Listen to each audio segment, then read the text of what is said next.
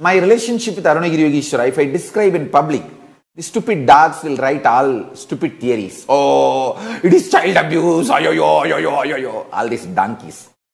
Let these dogs die with their theories of ideas of child abuse and everything.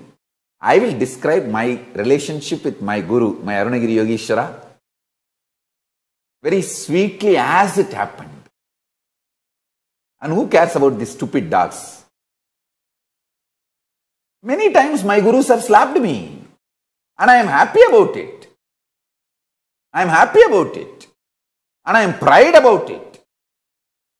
I had relationship with my gurus so sweet and so empowering me and such intimate.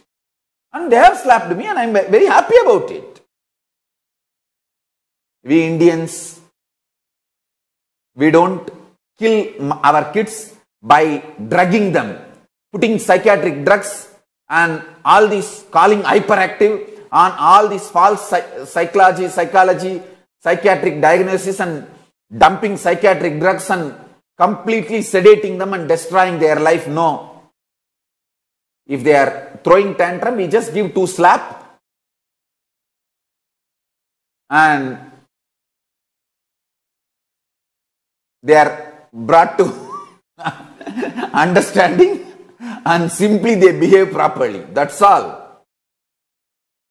And we don't do all this roundabout destroying and calling that as a care. We don't know all this 2G, 3G, 4G in all those days. We only know Pitaji. And if we throw tantrum, Guruji. That's all. And we lived a happy life. And fortunately, those days, no POCSO, all that stupid nonsense, destroying the Indian culture and the science of bringing up children. My father mother never used to slap because they are always afraid of me. They know that I am an incarnation. But my gurus have slapped me. And I am happy about it. And I am feeling very pride about it. Hmm.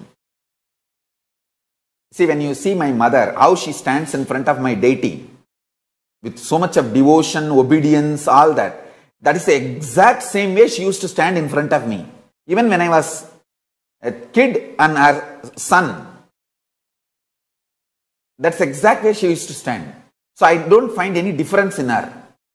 When I saw her, when I was 4 or 14, 40, same. I don't see any difference in her. Now how she stands in front of my deity, that's exact way she will stand in front of me as even when I was her kid at the age of 4 or 5 or whatever, whatever. Hmm? So, I want you guys to taste Tiruvannamalai in every way.